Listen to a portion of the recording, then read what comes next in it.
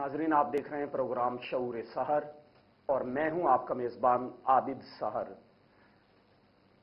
शहादत हज़रत इमाम हुसैन रज़ी अल्लाह तहों के हवाले से इस सिलसिले का ये दूसरा प्रोग्राम।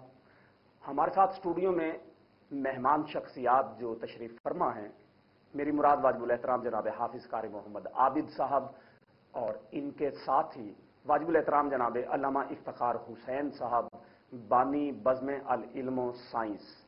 यहाँ हमारे साथ महल गुफ्तु हैं। कि नवास रसूल जिगर गोशा बतूल, हज़रत इमाम हुसैन रज़ी तु को बेदर्दी के साथ, दस मुहर्रम को अपने जान इशारान के साथ शहीद किया गया। नवास रसूल जिगर गोशा बतूल, और कौन जिगर गोशा बतूल? और बतूल कौन? के हया की देवी, वफा की आयत हिजाब की सल सबील जहरा, कहीं पे मासूमियत का साहिल, कहीं शराफत की झील जहरा। जहान मौजूद में बनी है वजूद हक की दलील जहरा, जमाने भर की अदालतों में निसा की पहली वकील जहरा।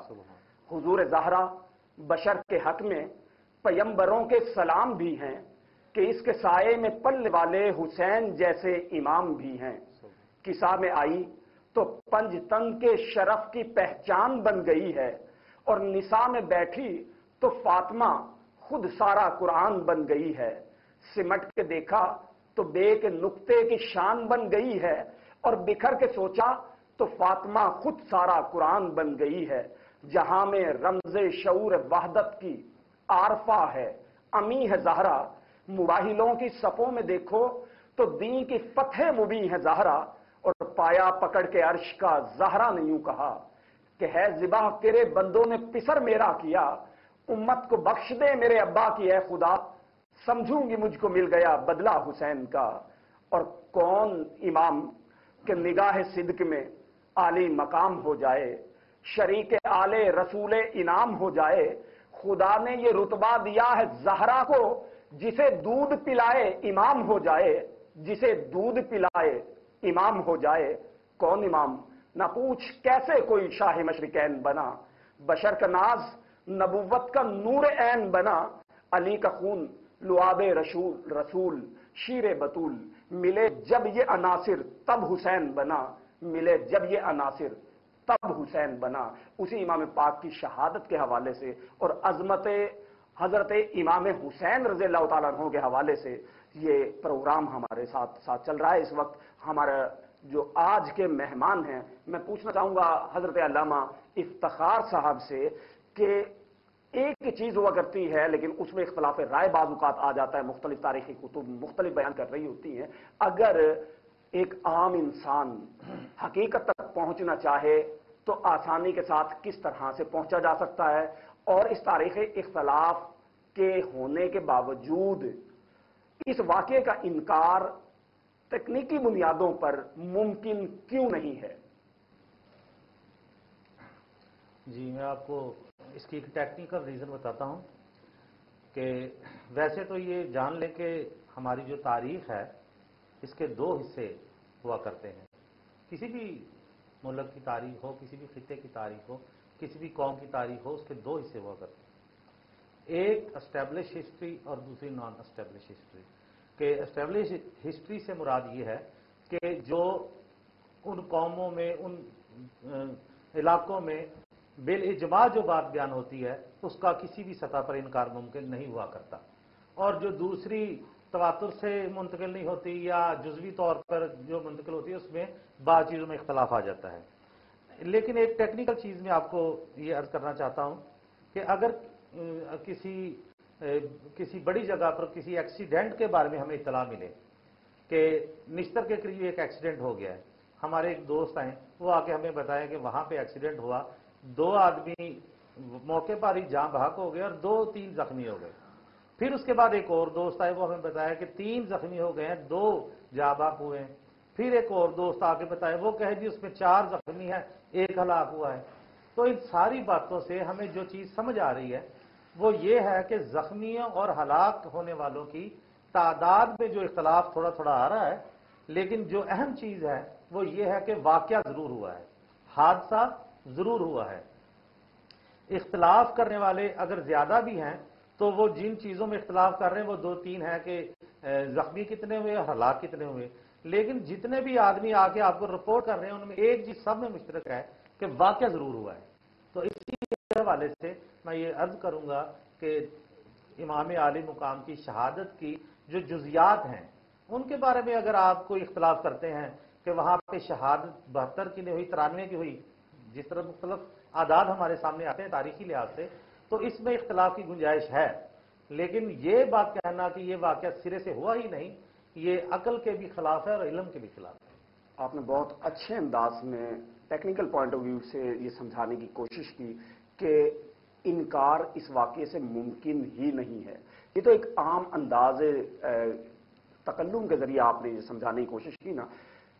दूसरी तरफ़ हजूर अक्रम वसल्लम की वो पेशन गोई भी हमारी निगाहों के सामने है कि आप सल्लल्लाहु अलैहि वसल्लम ने बहुत सारी ऐसी पेशन गोइयाँ फरमाई, वक्त के साथ साथ ये साबित हो गया कि आप सल्लल्लाहु अलैहि वसल्लम की बयान की हुई एक एक बात सच थी। ये मुमकिन ही नहीं कि कोई बात रिसालत आप सल्लल्लाहु अलैहि वसल्लम पेश करें और वो पूरी ना हो। बल्कि मुझे तो इस वक्त जहन में आ रहा है कि हज़रत हुजैफा बिन यमान रज़ी अल्लाह तु फरमाते हैं कि उनकी वालदा बूढ़ी थी, उन्होंने अपनी वालदा से इजाज़त ली और इजाज़त इस बात की ली कि वो मगरिब की नमाज़ अदा करना चाहते हैं हुजूर अकरम वसल्लम की इमामत में। और उनसे, अपनी वालदा से, आप रज़ी अल्लाह ने यह वादा किया कि मैं नमाज़ मगरब अदा करूँगा हजूर अक्रम अलैहि की इमामत में और बाद में हजूर अक्रम अलैहि से अपनी और आपकी बख्शिश के लिए दुआ करवाऊँगा। इस शर्त पर हज़रत हुजैफा बिन यमान रज़ी अल्लाह मस्जिद में तशरीफ़ लाए। मगरब का वक्त हुआ हुजूर अक्रम वसल्लम तशरीफ़ लाए, इमामत फरमाई। हज़रत हुजैफा बिन जमान रज़ी ने दीगर सहाबा कराम के हमरा नमाज़ अदा की। उसके बाद नमाज़ की अदायगी के बाद देखा कि सरदारुल अंबिया, हज़रत मोहम्मद अलैहि वसल्लम ज़िक्र अजकार में मसरूफ हो गए। आप मस्जिद में ही बैठे हैं कि जब हजूर वसल्लम फारिग होंगे अपने इन अजकार से तो फिर मैं उनसे अपनी और अपनी वालदा की बख्शिश के लिए दुआ मंगवाऊँगा।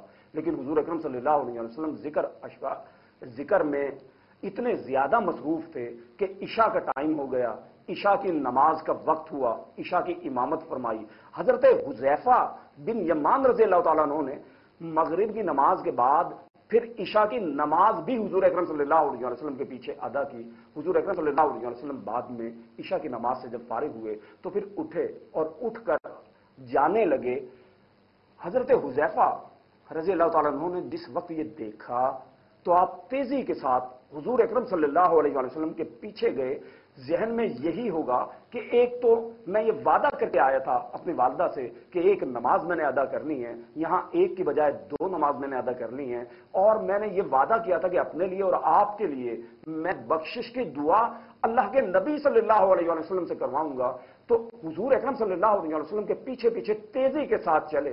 हुजूर अकरम वसल्लम ने जब कदमों की चाप सुनी, रिवायत में आता है कि आप मुड़े नहीं, वैसे ही पूछा कि पीछे आने वाले हुजैफा हो। हुजैफा कहते हैं कि मैं सोच रहा था कि पीछे भी नहीं मुड़े हुजूर अकरम सल्लल्लाहु अलैहि वसल्लम और वैसे ही बयान कर दिया आपने कि पीछे आने वाले हुजैफा हो, यानी किसी और शख्स का नाम तक नहीं लिया, और फिर अल्लाह के नबी सल्लल्लाहु अलैहि वसल्लम ने पीछे मुड़े बगैर बता, कहा कि अल्लाह हुजैफा और इसकी माँ की मफरत कर दे, बख्शिश कर दे। तो यकीन जानिए कि जो चीज़ हज़रत हुजैफा रज़ी अल्लाह अपने दिल में लेकर निकल रहे हैं हुजूर अकरम सल्लल्लाहु अलैहि वसल्लम, उससे भी वाकिफ है।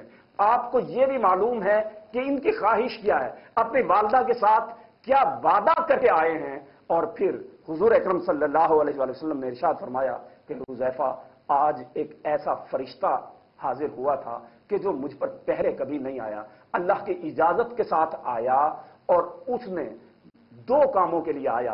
पहला काम यह कि उसने आकर मुझे सलाम किया और दूसरा काम यह कि मुझे बताया, मुझे खुशखबरी दी कि हज़रत फातमत जहरा सलामुल्लाह जन्नत की तमाम औरतों की सरदार हैं और हसन हुसैन जन्नत के तमाम जवानों के सरदार हैं। तो हजूर अकरम वसल्लम की जबान अथर से निकलने वाला एक एक लफ्ज हक है, बरहक है और वक्त आने पर यह साबित हुआ करता है। तो ये वाकई करबो बला जिसकी पेशन गोई हजूर अलैहि ने शहादत है, हज़रत इमाम आली मकाम की शक्ल में बयान फरमाई थी, ये भी मुकम्मल हुई।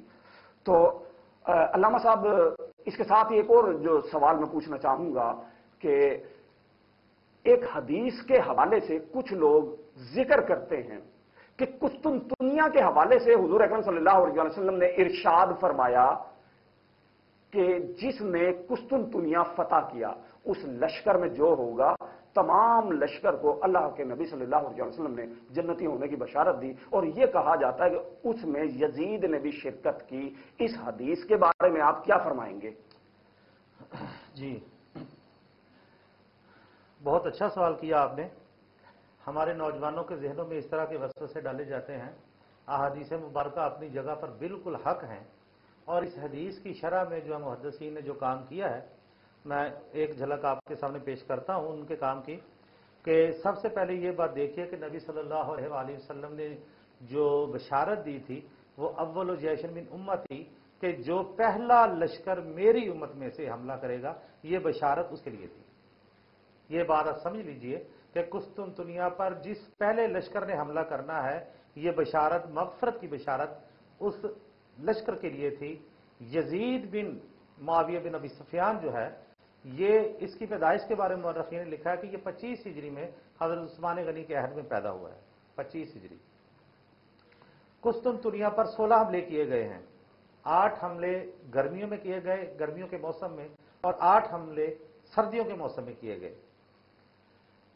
पहला लश्कर का जो पहला हमला कुस्तुनतुनिया पर गया, वो सन बत्तीस हिजरी में किया गया।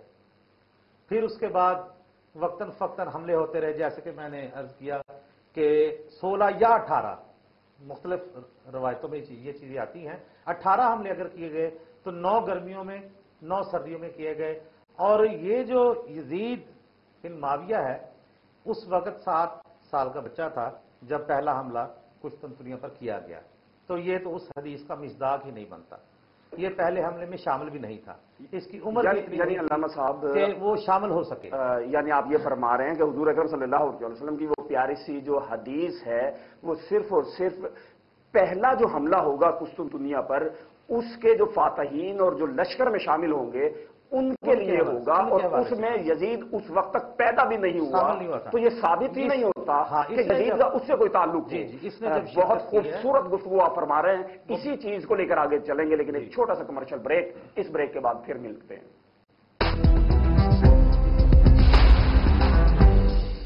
सेहत एजुकेशन करप्शन उसमें तमाम चीज़ें आ जाती हैं लेकिन मुल्तान की बेसिक आवाम का ये मसला है कि यहाँ पे हमें सुबह अलग चाहिए।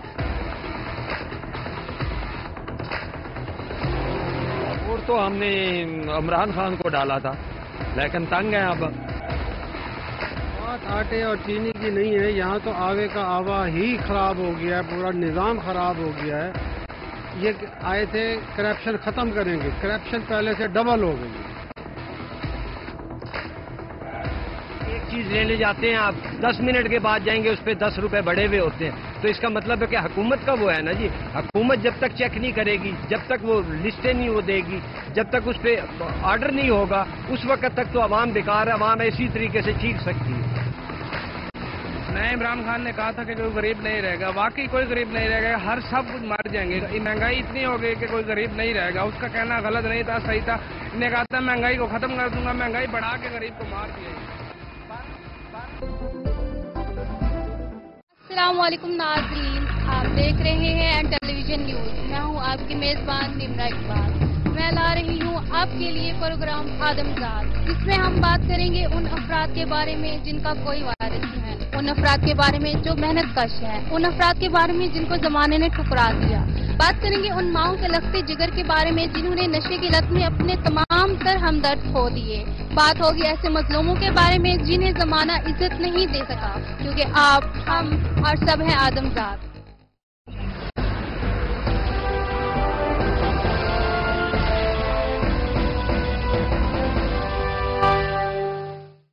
अस्सलाम वालेकुम नाजरीन, आप देख रहे हैं प्रोग्राम जायजा और मैं हूँ आपकी मेजबान फरहाना खान।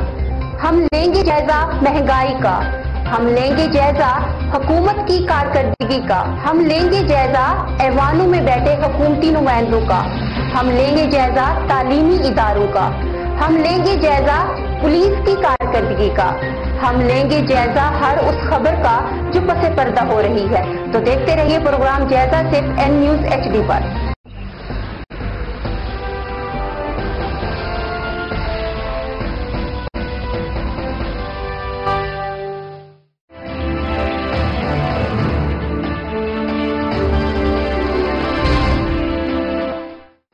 वेलकम बैक नाजरीन। गुफ्तु का सिलसिला लेकर हम वहीं से चलते हैं अलामा इफ्तार हुसैन साहब की तरफ़, कि कुस्तुनतुनिया के हवाले से जो हजूर अक्रम वसल्लम का इरशाद मुबारक था, कि जिसने सबसे पहला हमला किया और उसके फातहीन जो होंगे, उस लश्कर में जो शामिल होंगे, उनके लिए जन्नती होने की बशारत दी। अलामा साहब फरमा रहे हैं कि तारीखी बातें इस बात की शाहिद हैं कि उस वक्त तक ये यजीद तो पैदा भी नहीं हुआ था तो इसलिए इस यजीद का, उस बशारत के साथ कोई ताल्लुक नहीं। जी जी। मैं ये अर्ज़ कर रहा हूँ कि सन बत्तीस हिजरी में पहला हमला हुआ। उस वक्त यजीद बिन माविया बिन सुफियान जो है, ये सात साल का बच्चा था। इसके बारे में ये जो तारीख में बात बयान हुई है कि हज़रत अमीर माविया वक्तन फक्तन कहते रहे हैं, जैसे मैंने अर्ज़ कर रहा हूँ कि बहुत सारे हमले हुए और उसके बाद ये बलोगत को पहुँचा ये इस काबल हुआ कि उसमें हिस्सा ले। लेकिन ये अक्सर बेशतर जंगों में जाता नहीं था। इसने शेर व शायरी की अशार बयान किए कि लोग जिहाद पे जाके अपना खून बहा रहे, शहीद हो रहे हैं और मैं अपनी बीवी में कुलसूम जो, के बाहों में जो है ना बैठा हूँ और मेरे यहाँ पे ऐशो इशरत की ज़िंदगी गुजार रहा हूँ। इस तरह के अशार इस लिखे इसके बारे में जो बात तारीख से हमें मालूम होती है कि सन बवंजा हिजरी में 52 में इसने यजीद बिन माविया ने एक लश्कर में शिरकत की, जिसने कुस्तुनतुनिया पर हमला किया उसी की वजह से ये मुगालता पैदा होता है कि ये, क्योंकि कुस्तुन दुनिया पर हमला करने वाले लश्कर में शामिल था, शायद ये भी मफूरुल्लाहम की जो हदीस में जो अल्फाज है और उसका मिसदाक है, ये उसका मिसदाक कतअन नहीं है। मैं ये बात वजाहत से बयान कर रहा हूँ कि पहला हमला बत्तीस हिजरी में हुआ और उस वक्त ये सात साल का था। इसकी शिकल सन बवंजा हिजरी में तारीख बयान कर रही है। बहुत खूबसूरत जवाब दिया हज़रत अलामा इफ्तार हुसैन साहब ने।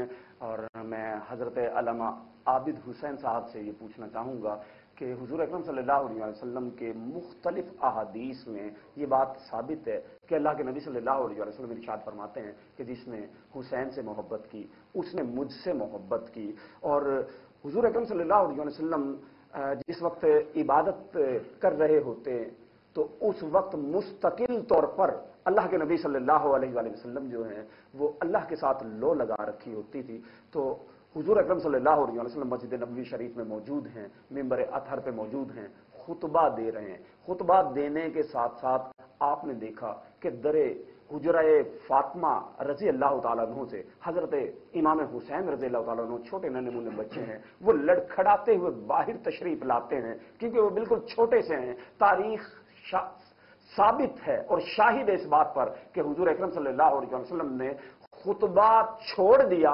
मिंबर अकदस से नीचे तशरीफ़ लाए और बढ़कर हज़रत इमाम हुसैन रज़ी अल्लाह को थाम लिया, उनको गिरने नहीं दिया कि हजूर अक्रम वसल्लम खुतबा देने के बावजूद हज़रत इमाम हुसैन रज़ी अल्लाह को थामते हैं, गिरने नहीं देते हैं।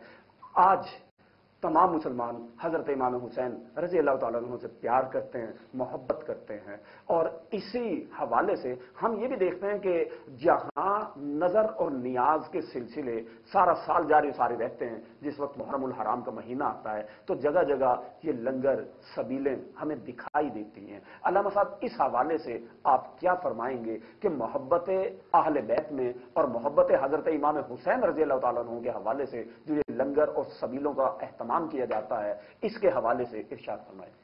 जी, ज़रूर। आबिद भाई, देखिए, इसमें तो कोई इख्तलाफ राय वाली या कोई इसमें इख्तलाफ वाली बात नहीं है।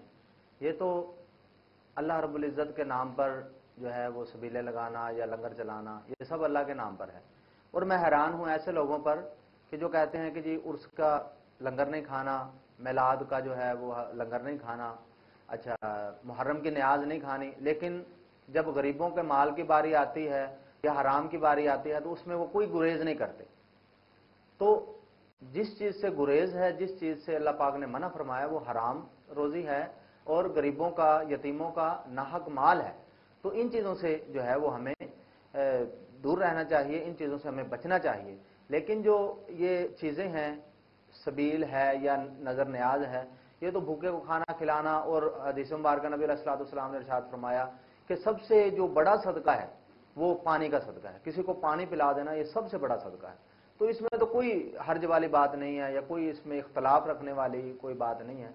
तो किसी के साले स्वाब के लिए ये काम करना तो ये सबसे ज़्यादा बेहतर है। और ये आज के दिनों में, या इन दिनों में जिन दिनों में अहले बैत पर पानी बंद कर दिया गया, उनके नाम की सबील चलाना जो है, ये मेरे लिए तो एक मेरे जहन के मुताबिक बहुत बड़ी अच्छी बात है और एजाज की बात है कि उनके रूह को साले स्वाब भी इससे होता है और कोई भूखा है तो उसको खाना भी मिल जाता है, कोई प्यासा है तो उसको पानी भी मिल जाता है। इसमें कोई जो है वो इख्तलाफ वाली या कोई मना वाली बात नहीं है, या कोई गलत बात नहीं है, या कोई शरीयत से हटकर बात नहीं है। मेरे ख्याल के मुताबिक तो इसमें कोई इख्तलाफ वाली बात नहीं है।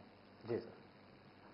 अल्लाह साहब, हुजूर अकरम सल्लल्लाहु अलैहि वसल्लम ने अपनी हयात मुबारक में बहुत सारे पेशन गोइयाँ फरमाई और तमाम की तमाम वक्त आने पर दुरुस्त और सही साबित हुई। हजूर अक्रम वसल्लम ने शहादत हज़रत इमाम हुसैन रज़ी अल्लाह के हवाले से भी जब आपकी पैदाइश हुई थी बचपन में ही पेशन गोई फरमा दी थी कि हज़रत जबरील अमी तशरीफ़ लाए और हज़रत इमाम हुसैन रज़ी अल्लाह की शहादत का बयान फरमाया और रिवायत में आता है कि करबला की मिट्टी भी दी वो मिट्टी घर में रखी गई।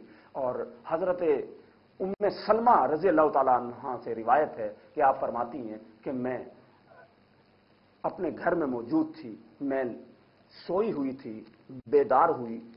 मैंने देखा कि हुजूर अकरम सल्लल्लाहु अलैहि वसल्लम को मैंने देखा। हुजूर अकरम सल्लल्लाहु अलैहि वसल्लम की जुल्फ मुबारक जो थी, वो बेतरतीब थी, अजीब सी हालत में मैंने पाया। मैंने पूछा कि आका सल्लल्लाहु अलैहि वसल्लम, ये हालत कैसी? आप सल्लल्लाहु अलैहि वसल्लम ने इरशाद फरमाया कि मैं करबला से इस वक्त वापस आ रहा हूँ। वो दस मुहर्रम का दिन था। आप सल्लल्लाहु अलैहि वसल्लम ने अपने हाथ में एक शीशी पकड़ रखी थी। पूछा हज़रत उम्म सलमा रज़ी अल्लाह ने कि, हुजूर, इस शीशी में क्या है? फरमाया कि, इस शीशी में हज़रत इमाम हुसैन, मेरे नवासे का लहू मौजूद है। हज़रत उम सलमा रज़ी फरमाती हैं, मैंने फ़ौरन ही उस मिट्टी की तरफ़ देखा जो रखी हुई थी, वो मिट्टी सुर्ख हो चुकी थी। तो हजूर अक्रम वसल्लम ने जितनी भी पेशन गोइयाँ फरमाई, वो मुकम्मल तौर पर सही साबित हुई, दुरुस्त साबित हुई। ये वाक्य करबो बला हज़रत इमाम हुसैन रज़ी अल्लाह हमें बहुत बड़े बड़े पैगाम देता है कि सबर का दामन हाथ से नहीं छोड़ना। लेते हैं एक छोटा सा कमर्शियल ब्रेक और मिलते हैं इस कमर्शियल ब्रेक के बाद। सेहत एजुकेशन करप्शन उसमें तमाम चीज़ें आ जाती हैं लेकिन मुल्तान की बेसिक आवाम का ये मसला है कि यहाँ पे हमें सुबह अलग चाहिए। और तो हमने इमरान खान को डाला था लेकिन तंग है अब। आटे और चीनी की नहीं है, यहाँ तो आवे का आवा ही खराब हो गया है, पूरा निज़ाम खराब हो गया है। ये आए थे करप्शन खत्म करेंगे। करप्शन पहले से डबल हो गई। एक चीज़ लेने जाते हैं आप, दस मिनट के बाद जाएँगे, उस पर दस रुपए बढ़े हुए होते हैं। तो इसका मतलब है कि हुकूमत का वो है ना जी? हुकूमत जब तक चेक नहीं करेगी, जब तक वो लिस्टें नहीं वो देगी, जब तक उस पर ऑर्डर नहीं होगा, उस वक्त तक तो आवाम बेकार है, आवाम इसी तरीके से चीख सकती है। नए इमरान खान ने कहा था कि कोई गरीब नहीं रहेगा। वाकई कोई गरीब नहीं रहेगा। हर सब कुछ मर जाएँगे। महँगाई इतनी हो गई कि कोई गरीब नहीं रहेगा। उसका कहना गलत नहीं था, सही था। ने कहा था, महँगाई को खत्म कर दूँगा। महँगाई बढ़ा के गरीब को मार दिया। असलकुम नाजरीन। आप देख रहे हैं एंड टेलीविज़न न्यूज़। मैं हूँ आपकी मेजबान निमरा इकबाल। मैं ला रही हूँ आपके लिए प्रोग्राम आदमजाद जिसमें हम बात करेंगे उन अफराद के बारे में जिनका कोई वारिस है। उन अफराद के बारे में जो मेहनत कश है, उन अफराद के बारे में जिनको जमाने ने ठुकरा दिया। बात करेंगे उन माओ के लगते जिगर के बारे में, जिन्होंने नशे की लत में अपने तमाम तर हमदर्द खो दिए। बात होगी ऐसे मजलूमों के बारे में जिन्हें जमाना इज़्ज़त नहीं दे सका, क्योंकि आप, हम और सब हैं आदमजाद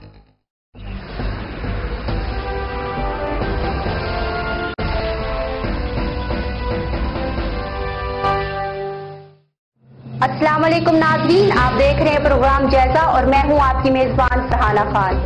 हम लेंगे जायजा महँगाई का, हम लेंगे जायजा हुकूमत की कारकर्दगी का, हम लेंगे जायजा ऐवानों में बैठे हुकूमती नुमाइंदों का, हम लेंगे जायजा तालीमी इदारों का, हम लेंगे जायजा पुलिस की कारकर्दगी का, हम लेंगे जायजा हर उस खबर का जो पसे पर्दा हो रही है। तो देखते रहिए प्रोग्राम जायजा सिर्फ़ एन न्यूज़ एच डी पर।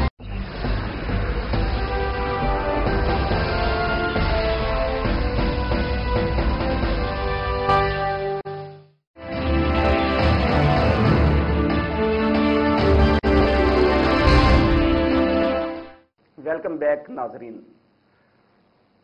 दस मुहर्रम को वाक़ करब बला हो गया। इमाम आली मकाम हज़रत इमाम हुसैन रज़ी तु को अपने जानिसारान के साथ, बेदर्दी के साथ करबला के तपते हुए सहरा में शहीद कर दिया गया। यजीदी लश्कर हज़रत इमाम हुसैन रज़ी तु का सर नेजे की नोक पर लेकर बुलंद कर रहे थे कि हमें फतह मिल गई। हमने बागियों का खात्मा कर दिया है। लेकिन शायद वो ये, ये नहीं जानते थे कि उस वक्त भी अगर करबला की सरजमीन पे कोई सर बुलंद था तो फकत हुसैन था। अपनी तरफ़ से ये तस्वुर करने वाले कि हमने हुसैनियत को खत्म कर दिया और यजीदियत को फतह मिली वो भूल गए थे कि हमेशा के लिए यजीदियत नामुराद ठहरी और हुसैनियत जिंदाबाद हो गई। मैं मुलतमिस हूँ, हज़रत अलामा आबिद हुसैन साहब से कि फरमाइएगा कि ये करब बला का जो वाक्य हुआ, हज़रत इमाम हुसैन रज़ी को तमाम जान सारान के साथ शहीद किया गया, हतमी और दायमी फतह किसका मुकद्दर ठहरी? है जी आबिद भाई, देखिए, जो यजीद था, उसके नजरियात क्या थे? उसकी सोच क्या थी? उसका जो था, जहन क्या था? मुहर्रिकात के साथ निकाह, सूद वगैरह जो मनहियात शराइया है, इसको ऐलानिया उसने रवाज करार दिया था बदबख्त ने। जो उसकी सोच थी, जो उसका नज़रिया था, वो ख़त्म हो गया। वो मारका करबोबला के बाद दफन हो गया और आज भी जो हमारे दिलों में ज़िंदा हैं, वो हज़रत इमाम हुसैन है। बज़ाहिर तौर पर तो उन्होंने फतह के नकारे भी बजाए, फतह के जश्न भी मनाए।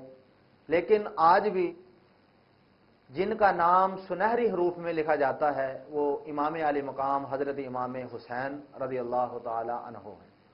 तो दायमी और हकीकी फतह जो नसीब हुई है, वो हज़रत इमाम हुसैन को हुई, वो आपके जहन को हुई, वो आपके नज़रिए को हुई, वो आपको सोच को हुई, जो इन क़यामत तक आपने बतला दिया कि जो बातिल है उसके सामने कभी सर तस्लीम खम नहीं करना, सब्र और रजा का दर्श दिया और उसके बाद आपने ये हमें बतलाया करबोबला से हमें ये मार्ग करबोबला से हमें सबक मिलता है कि बातिल जो है वो जितना भी ताकतवर हो, जितना भी ताकतवर हो, आखिर वो मिटकर ही रहता है। क्योंकि मेरे अल्लाह का भी यह फैसला है कि वजह कल बातिल, वकुल जाल हक वजह कल बातिल।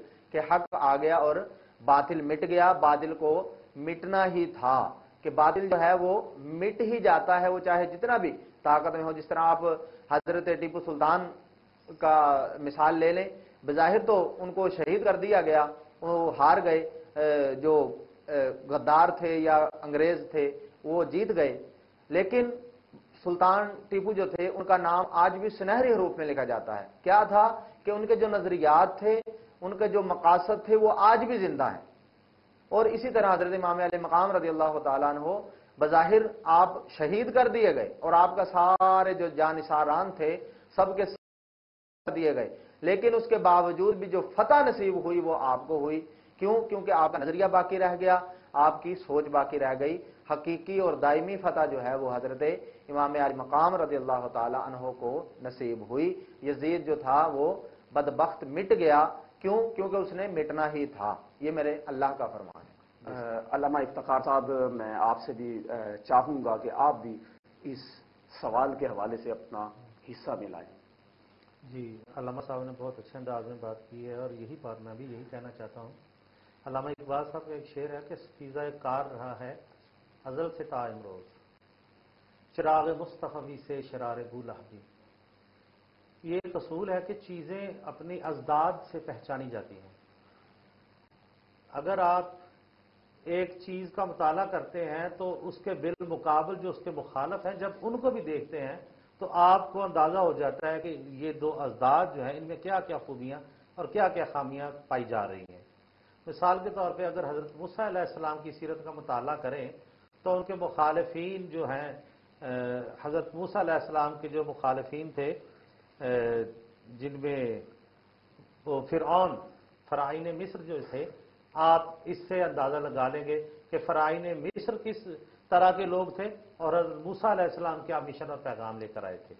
नबी पाक सल्लल्लाहु अलैहि वसल्लम जब इस्लाम की दावत दे रहे थे तो आपके मुखालफी अबू जहल अबू जहल और अबू लहब जैसे लोग थे तो इसी से आप अंदाज़ा लगा सकते हैं कि एक तरफ़ नबी पाक की पाक सीरत और अल्लाह का पैगाम और दूसरी तरफ़ अबू जहल और अबू लहब जैसे ज़िद्दी और घुमंडी लोग।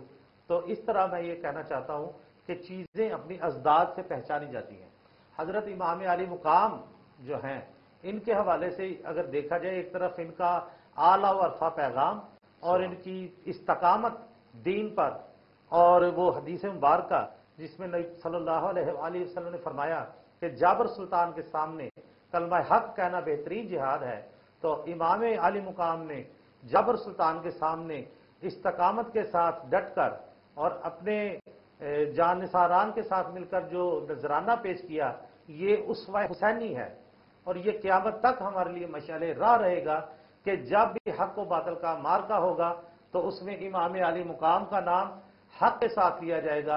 और बातल जो है, जिस तरह अलामा साहब ने फरमाया कि मिटने वाली चीज़ है और मिट जाती है। इसी तरह हम जानते हैं कि हज़रत इमाम अली मुकाम के दौर से लेकर आज के दौर तक और आज के दौर से क्यामत तक इमाम अली का इमाम अली मुकाम का नाम लिया जाता रहेगा और हमेशा बुलंद होगा और आपका नाम लोगों के दिलों में लोगों की जिंदगियों में और क्यामत तक रहेगा। लेकिन यजीद के नाम में आज कहीं नहीं है और ना थे। मादी दुनिया में ये कहना चाहता हूँ कि मादी चीज़ें मुल्क फतह कर लिया तख्त कब्जा कर लिया पैसा हासिल कर लिया अफवाज को साथ मिला लिया। ये मादी चीज़ें हैं और बेबुकत चीज़ें हैं। असल में अल्लाह का पैगाम था जो नबी सल्लल्लाहु अलैहि वसल्लम लेकर आए थे और इमाम अली मुकाम ने अपनी शहादत देकर उस पैगाम को बचाया है और आने वाली नस्लों तक पहुँचाया है कि हम इस पैगाम की हिफाजत करें और इस पर अमल करें। अल्लाह साहब हुसैन कल भी जिंदाबाद था अब भी जिंदाबाद है। हुसैन जिंदाबाद हुसैन जिंदाबाद मैं एक चीज़ अर्ज़ करना चाहता हूँ। जी जी। यजीद के हवाले से आमतौर पर तकाबल किया जाता है कि इमाम अली मुकाम और यजीद। मैं ये अर्ज़ करना चाहता हूँ कि कोई तकाबल ही नहीं है। बेशक। यानी कार्बन और हीरे का क्या तकाबल? कार्बन का हीरे का क्या तकाबल? पैर की ठोकरों में रहने वाले जर्रा रेग का और उस आफ्ताब का क्या तकाबुल कि जिसकी रोशनी से पूरी दुनिया जिया पाती है। अच्छा इस सारे वाकई का वाकई करबला के बातिल के मरकजी किरदार यजीद का अंजाम क्या था? हमारे ना, हमारे नाजरीन ये भी सुनना चाहेंगे। जी। अर्ज़ यह है कि यजीद जो था उसकी हुकूमत ढाई पौने तीन साल के करीब रही है। और इसको इसको जब ये एहसास हो गया कि मैंने ये इतना बड़ा जुल्म और इतना बड़ा जबर किया है इमाम आली मुकाम पर उनके, उन खानदान वालों पर। तो अल्लाह ताला की तरफ़ से इस पर अजाब आना था और ये कॉलेज के दर्द में मुबतला हुआ और ऐसा मुबतला हुआ कि फिर इसकी जान ही चली गई। ये, वो ज़िंदा ना रह सका।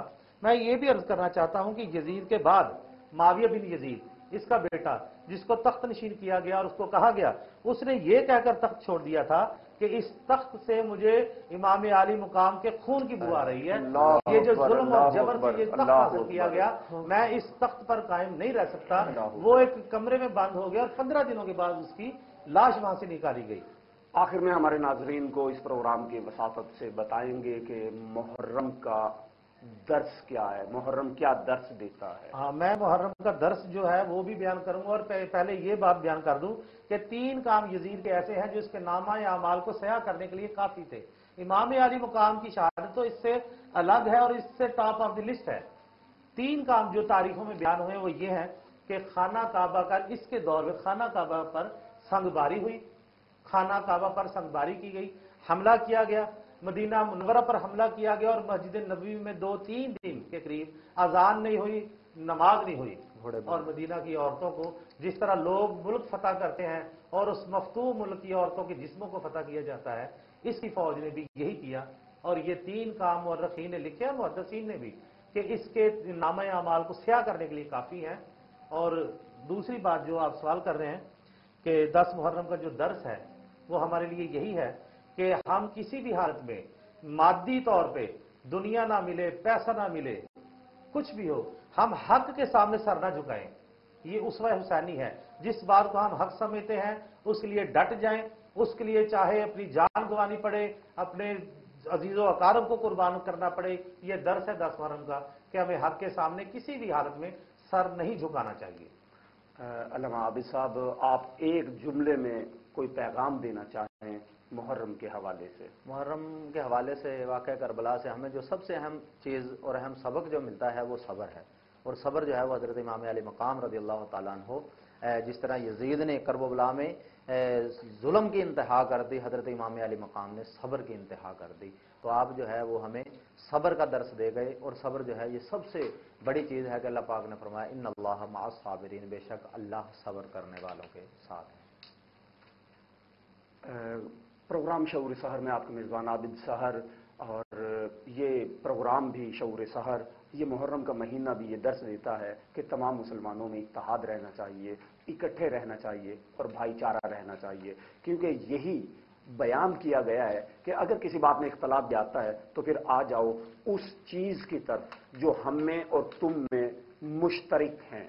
और वो मुश्तरक क्या है कि अगर आज भी हम अपनी तमाम कौम को उठाकर देखें खा उसका ताल्लुक किसी भी ग्रुप से हो, किसी भी मसलक से हो, वो चाहे वो शिया हो या सुनी हो, मुश्तरक चीज़ ये है कि अहल बैत से हर शख्स प्यार रखता है, प्यार करता है और उसके उसवा पे चलने की कोशिश करता है और दुआ करता है कि अल्लाह पाक हमें उनके नक्श कदम पे चलने की तोफीक अता फरमाए। क्योंकि वो रहनुमा, वो लीडर तो एक ऐसा लीडर है कि ना पूछ मेरा हुसैन क्या है, ना पूछ मेरा हुसैन क्या है? जहान अजम वफा का रहबर, खिरत का मरकज जुनू का महबर जमाल जहरा, जलाल हैदर, जमीर इंसान, नसीर दावर जमी का दिल, आसमां का यावर, दियार सब्रो रजा का दिलबर, कमाल ईसार का पयंबर शऊर अमनो सकूँ का पैकर, जबीन इंसानियत का झूमर, अरब का सहरा, अरब का जेवर।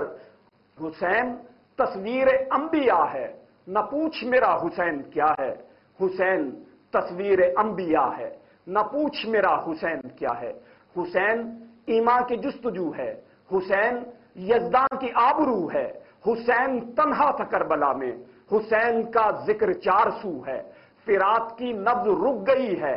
हुसैन मसरूफ गुफ्तगु है। जहाँ गुलाबों से अट गया है। हुसैन शायद लहू लहू है। हयात के इर्तका से पूछो, हुसैन पयंबरे नमू है। हुसैन का हौसला न पूछो, हुसैन लुटकर भी सुरखुरू है। वो देख, फौजों के दरमिया भी हुसैन तन्हा डटा हुआ है। न पूछ मेरा हुसैन क्या है। हुसैन तस्वीर अंबिया है। न पूछ मेरा हुसैन क्या है। हुसैन एक दिल नशी कहानी, हुसैन दस्तूर हक का मानी, हुसैन अब्बास का सरापा, हुसैन अकबर की नौजवानी, हुसैन किरदार अहल ईमा, हुसैन मियार जिंदगानी, हुसैन कासिम की कम नुमाई, हुसैन असगर की बेजबानी, हुसैन सज्जाद की खामोशी, हुसैन दजला का खुश्क साहिल, हुसैन सहरा की बेकरानी, हुसैन जैनब की कसम पुरसी, हुसैन कलसूम की रिदा है। न पूछ मेरा हुसैन क्या है, हुसैन तस्वीर अंबिया है। न पूछ मेरा हुसैन क्या है, न पूछ मेरा हुसैन क्या है, हुसैन क्या है, हुसैन क्या है।